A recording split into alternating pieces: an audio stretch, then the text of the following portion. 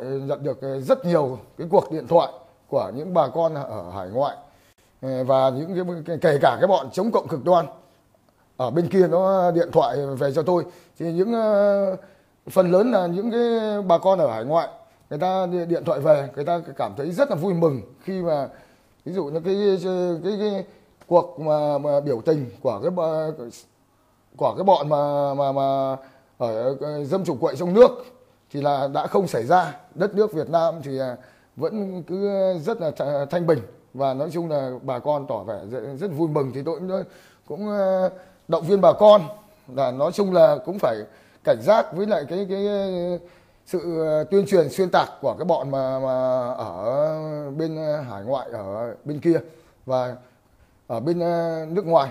Nói chung là chúng nó chỉ có xuyên tạc và chúng nó khách khoác như, như thế thôi. Chứ còn hiện nay phần lớn những cái ờ, bà con nhân dân ở Việt Nam đều tin tưởng vào cái sự lãnh đạo của đảng và tin tưởng ở cái chế độ này do đảng cộng sản ờ, Việt Nam Nam lãnh ờ, lãnh đạo. Mà khi ví dụ những cái điều gì bà con chưa hiểu thì là cái đợt vừa rồi thì là các cấp chính quyền ở Việt Nam đã tuyên truyền cho những bà, bà con biết về cái ừ, âm mưu của cái bọn mà ừ, chống cộng cộng cực đoan ở bên hải ngoại và bọn dâm chủ quậy trong nước. Cho nên là bà con cũng cũng ờ, đã nghe ra và nói chung là cũng không không nghe theo cái lời mà mà tuyên truyền của bọn chống cộng cực đoan và và cái bọn dâm chủ quậy ở trong nước nữa thì mấy ngày hôm nay thì bọn ờ, chống cộng cực đoan ở bên kia thì chúng nó ờ, gào thét và chúng nó rất là tức tối vì là cái kế hoạch của chúng nó đã bị coi như phá sản hoàn toàn và bọn dâm chủ quậy trong nước thì chỉ có một số cái thằng nó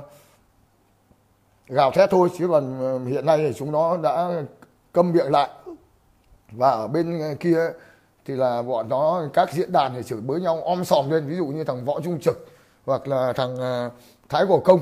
Thì là chúng nó chửi thằng tân thái và benny sương thì các bạn sang đấy ờ, cái kênh của võ trung trực ấy. Và thái cổ công nghe thì nói chung là rất là sướng tai. Vì cái là là chúng nó moi moi móc ra những cái mà gọi là, là khuếch khoát của cái thằng mà mà mà mà, mà ví dụ như cái cái cái, cái quả quả cái thằng à, Benny Sương và thằng à, Tân Thái. Vâng và còn ngoài ra thì tôi cũng à, nhận được nhiều cái số cũng một hai cái số cái cuộc gọi của cái cái, cái, cái, cái những cái người tôi nghĩ là hiện nay thì gọi là chống cộng cực đoan. Nhưng mà cái vấn đề người ta thực tế người ta có một cái đầu óc người ta nhìn nhận về Việt Nam chưa được. Tức là có thiện cảm lắm. Tức là như cái cái cái, cái, cái bà sáng này tôi nghĩ rằng bà già rồi bà đi ờ, từ năm 1975 nhưng bà chưa quay về về Việt Nam. Coi như bà không hiểu biết gì về một cái tình hình tình hình của Việt Nam gì cả. Đấy bà nói là hiện nay coi như Việt Nam coi như gần như đã rơi vào tay tàu cộng rồi và đất nước Việt Nam coi như là bê bết là không có một tí phát triển triển nào. Thì tôi nói tôi, tôi nói với với cái bà đấy bảo là bây giờ làm vì bà gọi cho tôi là mày tao chi tới cái thứ thì tôi cũng chả biết là bao nhiêu tuổi. Tôi bảo bây giờ tốt hết là tao sẽ khuyên mày. Có hai cái. Thứ nhất là mày về, về Việt Nam đi. Đấy chưa? chỉ một lần thôi. Chơi cứ khoảng nửa tháng hoặc hoặc một tháng. Sau đó sang bên kia thì thì thì là mày muốn có một cái cái tư tưởng của mày. Thì là cái chuyện đấy là đó là cái tư tưởng của mày thì tao không cấm. Với thứ hai là nếu mà mày biết lắng nghe vì mày với tao đều là người Việt Nam cả máu đỏ da vàng thì là mày có thể khả năng mày điện thoại cho tao tao hứa xin hứa với mày tao chỉ có nói những sự thực ở cái đất nước Việt Nam hiện nay thôi. Nhưng nó bảo là tao không thèm về vì đất nước Việt Nam còn cộng sản. Với thứ hai là tao về sợ ung thư. Đấy cái vấn đề nó là như thế. Cho nên là hiện nay ấy, theo tôi nghĩ là bây giờ ví dụ mình gọi chung tất cả những cái, cái những người chống cộng cực đoan ở bên kia đi và những cái những người Việt kiều bây giờ tôi nói về những cái nhóm những người Việt kiều hiện nay đang sống ở bên nước ngoài. Nói chung là theo tôi nghĩ là phần lớn những người Việt kiều ở bên nước ngoài hiện nay là đều có cái tấm lòng yêu quê hương yêu đất nước mình. Đấy phần lớn là là là, là như thế. Thì là nhưng mà cũng có một cái thì là cái cái số mà gọi là chống cộng hiện nay tôi theo tôi này thì có những cái dạng như này thứ nhất là những cái người mà đi cỡ khoảng năm 1975 mà như cái cái cái cái bà vừa nãy mà tôi nói ấy, tức là từ năm một chính vì đi từ những năm đó đi từ năm 1975 thì gia đình của của bà đấy thì nhận được rất nhiều cái sự ưu ưu đãi của cái, cái cái chính quyền huyện Sài Gòn.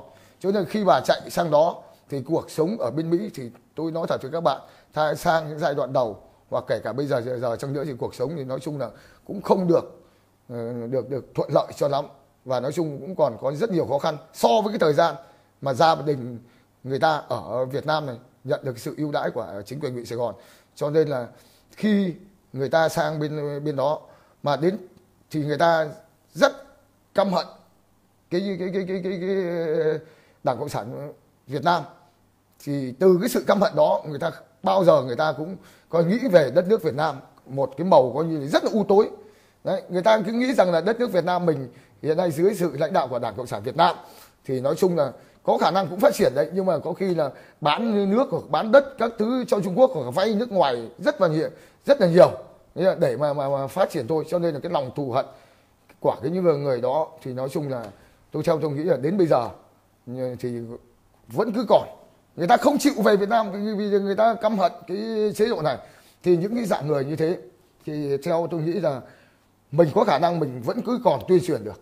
Vâng vẫn còn tuyên truyền được. Để ví dụ như người ta nên những người đó nên về nước về nước, nước Việt Nam và nói chung là xem lại cái quê cha đất thăm lại quê cha đất tổ và chứng kiến cái sự thay đổi của đất nước Việt Nam. Vâng và nếu mà ví dụ có sự tuyên truyền nhiều ấy, thì người ta có khả năng người ta sẽ hiểu ra hiểu ra vấn đề. Vì thực tế là là cái cái cái đất nước mình đã thống nhất, đã được ừ, 43 năm rồi, một cái khoảng thời gian rất là dài. Thì theo tôi nghĩ rằng những người này thì người ta cũng có cái sự cực đoan đối với chế độ này đấy, nhưng mà có khả năng tuyên truyền được. Vâng. Còn cái, một cái dạng nữa, đấy, tức là tôi trừ những cái những cái người Việt kiều yêu nước và những cái Việt kiều người ta có cái tư tưởng, tức là là là nói chung là cũng không quan tâm gì về chính, vấn chỉ, vấn đề chính trị lắm thì người ta cứ ví dụ người ta sống ở cái nước đó người ta làm ăn người ta tạo cái, cái cuộc sống cho người ta thôi. Và coi như là người ta cũng cũng cũng gọi là thỉnh thoảng người ta về thăm quê hương đất nước người ta không quan tâm gì đến vấn đề chính trị. Thì những cái người đó thì không nói. Và còn những cái kẻ nữa. Tức là một cái kẻ mà chống cộng cực đoan một cách điên cuồng.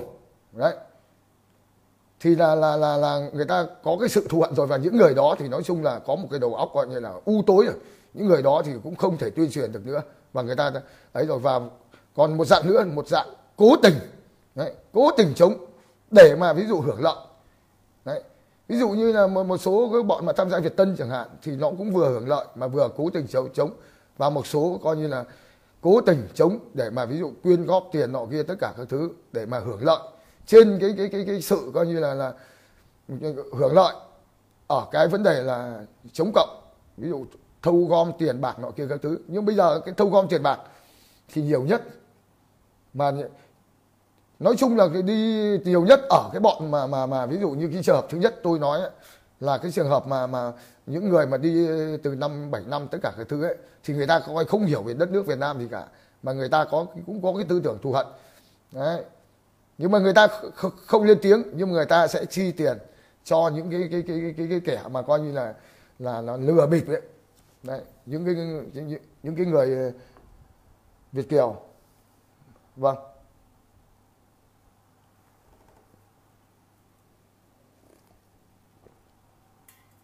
Và nói chung là cái tôi nói với các bạn đấy cho nên là cái thời gian ờ, vừa rồi thì là như tôi cũng nhận được rất nhiều đe dọa của cái cái cái cái, cái bọn chống cộng cực đoan ở bên kia.